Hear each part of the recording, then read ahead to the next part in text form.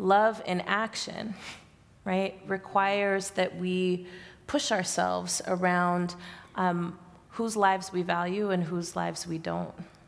And that includes these movements, right? Um, it includes the fact that I don't want anybody to be murdered. Mm-hmm. And that's not something we're encouraged to say as activists, right? You're just like, oh, well, y'all have been doing it to us for a really long time, so I guess it's chickens coming home to roost.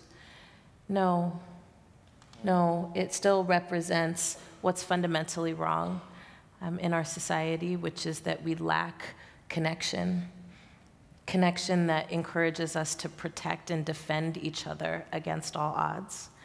Um, love that encourages us to um, break rules when they're wrong. Mm. Right?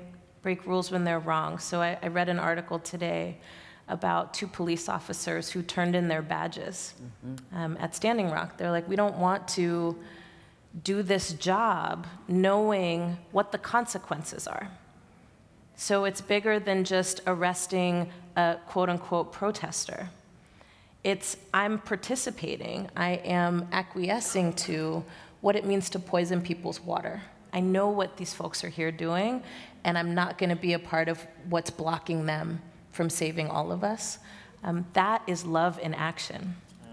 That's courage, right? So I think that's the next step of where we have to go, also to counter the nihilism that is rising really high.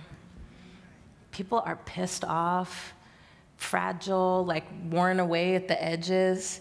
You know, I'm like, can this election season be over? But when it's over, this dynamic doesn't end unless we end it. Unless we end it.